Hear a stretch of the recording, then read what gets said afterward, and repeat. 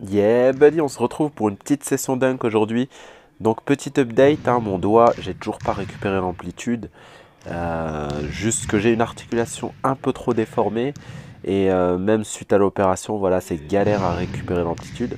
Donc pour pouvoir continuer à, à, dunker, je me bande les doigts. Et euh, voilà, on lâche rien quoi. Let's go